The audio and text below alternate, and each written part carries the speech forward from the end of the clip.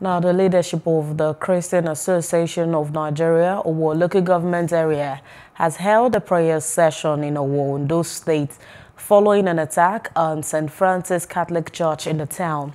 They gathered at the church in the early hours of today for the prayer session and also held a protest in the area. Speaking after the prayer session, the current chairman in Owo Council, Reverend Joshua Ladapo, expressed sadness over what he described as an evil.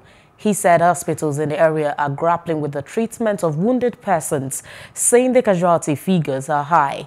The cleric called on the leaders across the country and the international community to wade into the attacks on churches. Hello. Hope you enjoyed the news. Please do subscribe to our YouTube channel and don't forget to hit the notification button so you get notified about fresh news updates.